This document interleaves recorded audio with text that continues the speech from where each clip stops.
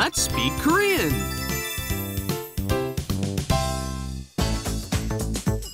제 61회 더워서 죽겠어. 안녕하세요. Hello everyone and welcome to Let's Speak Korean. I'm your host Lisa Kelly and today is our 61st episode and today's main expression is 더워서 죽겠어. 죽겠어 means I feel like dying, but here it's spoken like I'm so hot I could die. All right, let's go and meet our wonderful friend here. Hello, how are you, Steve? Good, how you doing, Lisa? Annyeonghaseyo. I'm Stephen Revere. It's good to be with you all again. 죽지 마세요. Okay? Don't die. This is an expression you'll hear a lot in Korea. 죽겠어. I'm gonna die. So you when you have difficulties. It's just yeah, a figurative just a expression figure of there. speech, but uh, um, when you want to make a joke about it, you can say 죽지 마세요. Speaking of which, you look a little hot there. so hot here, i- i- isn't it? No, I don't feel hot. Why'd you wear a sweatshirt today? anyway, 안녕하세요. 나오미입니다. Today I look like Pippi long stock stockings. stockings. yeah, right. So can I leave a message to our coordinators? Sure, sure, sure. Uh, 코디네이터들 언니들 because there are two. Uh-huh. 언니들 예쁘게 해줘서 고마워요. Very good. Thank you for making me look so pretty. How are you, Niti? 음, 안녕하세요. 니티입니다. Mm, I don't feel hot today. It's okay. That's because you're from Malaysia. Yeah. And Malaysia You is can so with- hot. You're you used can to it. withstand everything. Yeah, I don't feel very hot. I, I, I suppose it's probably all the lighting in here. Right. Oh, well, y- 참어. well, 참어. All right. All right, everyone. Let's go and take a look at what we'll be learning for today. Let's do it. 더워서 죽겠어. 그럼 목욕부터 해. All right, we heard 더워서 죽겠다, 더워서 죽겠어. But I say this a lot too, but I usually leave out the 서, and that's perfectly fine. You can say 더워 죽겠어, or um, uh, you can say 슬퍼 죽겠어, or 배고파 배고파 죽겠어. That's right. All right, but let's not get ahead of ourselves. Let's try the pronunciation on this. It's pretty easy. 더워 죽겠어. 더워 죽겠어. 더워 죽겠어. Stephen, explain for yeah, us. Yeah, originally you're supposed to use saw. You can say it without it. Mm. Most people do. But you also put saw in there. Now, you might wonder why can't you put inika? Because I'm hot, I'm gonna die. Because with inika, you're using a different subject, okay? Mm. Inika is used when you have one subject for the beginning, the reason, and then a different subject afterward with the result. But here with saw, that's used when you have the same subject for both parts. I am hot, so I'm gonna die, right? 더워서 죽겠어. Same thing. In my mind, in the translation, when you say 죽겠어, the, there's the because I am already there in this ha. So that's why you don't kind of need it in the beginning. All right, let's try this with something else. It's an easy expression. We usually say, I'm so hungry I could die, or, you know, I could eat a cow. All the time. All right, so let's try this one. 배고파 죽겠어. 배고파 죽겠어.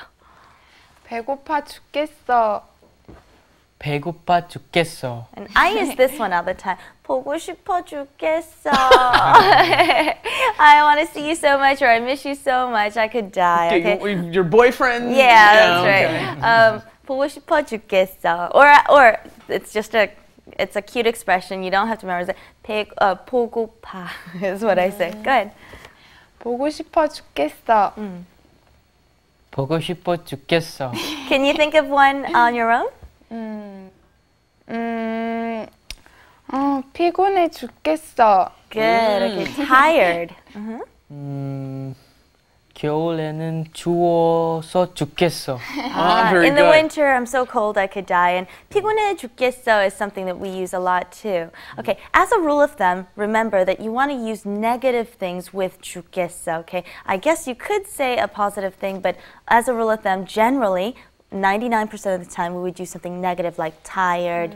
Or missing someone or cold. And a lot of t- a lot of the times the saw may be omitted. Yes. But what you have to be careful of is because Saul is supposed to go in there, you have to remember that Saul is never used with past tense or future tense. You don't use tense with Saul. You do use tense with Inika, but you do not use tenses with Saul. The tense comes at the end. So let's say Niti saying, mm -hmm. he wanted to say, ah, Jinan 겨울에. 겨울에 추워서 고생했어요. 고생 is have a difficult time, go Hardship. through har- a hardship of some sort. Thank you. Uh, 고생했어요. Then the past tense comes out. Okay, you can't say I died because you didn't die, right? So we're not going to use that expression. You just say you had a really difficult time. 고생했어요. That's where the tense would come out. Okay, and the response, usually if someone says something like that, then you give them advice or you tell them what to do. So the response was, then go take a bath or go take a shower first. Okay, 그럼 blank 부터 blank, okay, is the structure that you would use. 그럼 blank부터 blank. And then here we're saying 그럼 목욕부터 해. Okay, since we're hot and we're sweaty, they're telling them, then take a shower first. And what you can guess from this sentence is that they have a couple of things to do. They've got a few things that they have to get taken care of.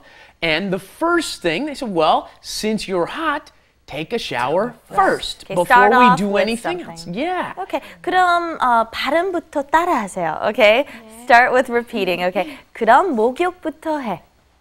그럼 목욕부터 해. 그럼 목욕부터 해. Let's say I said I was hungry. 배고파 죽겠어. Then what would you probably tell me first? 그럼 밥부터 먹어. Good. Okay, 그럼 밥부터 먹어. Then uh, start off with eating something, right? Or uh, 목말려 죽겠어. I'm very thirsty.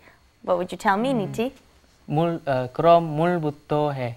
물부터 마셔. 물부터 you 마셔. can't do water, 아, you have to 물부터 drink 마셔. water. So you have to change the verb and then you have to tell me what you're going to tell me to do. Very good. Let's go over to wrap it up and see what we've covered so far. Wrap it up with Lisa. and Steven. 피곤해 죽겠어. 나는 배고파 죽겠어. 그럼 밥부터 먹고 쉬자. 좋아, 뭘 먹을까? Okay, we heard another bonus expression in there, and this is something that we should definitely get down. 쉬다, 쉬다. 그럼 쉬자. Okay, what does this mean? 그럼 쉬자. Okay, then do what? Yeah, then let's rest, right? She da, right? To uh, rest is the verb.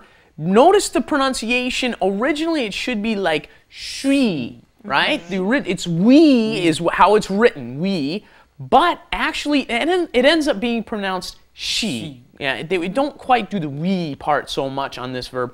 Uh, I think partly because she is much more what children call pee pee. urine. Uh, When children have to go to the bathroom, they say she, she. They, so what ends up happening when you say rest, you end up saying she a lot more. You heard it in Lisa's pronunciation. Right. She said she a lot more than she, right? Shija. Let's take a break. Right. And you use many different forms of this because it's used so often. 그럼 좀 쉬어 means get some rest. Okay, 많이 쉬었어? Uh, Did you get a lot of rest? 좀 쉬고 있어? Then get some rest. Sit still. That one gets really difficult, doesn't it? 좀 쉬어. She, uh, yo is the, uh, the way that that's written. The original pronunciation is 쉬어요. Huh? 좀 쉬어요. If you put it all the way out, but when that gets con- conjugated and then pushed together, it becomes 좀 쉬어. Take a rest. All right, Stephen. Stephen is so uh, missing his girlfriend. Uh, Stephen, come on, say it for us. 보고 싶어 죽겠어. Aw. 어디 있는지 몰라요. Give me a girlfriend and then I can use the term. All right, you guys tell him what to do. How about calling him? Oh, yeah. Okay. 음, 그럼 전화 전화부- 전화부터 부터 해. Okay. Anyways, thank you for joining us here at Let's Speak Korean. Today was a pretty fun day. We got to use a lot of different expressions with our pattern. Join us next time, and we'll see you then. Bye bye. Bye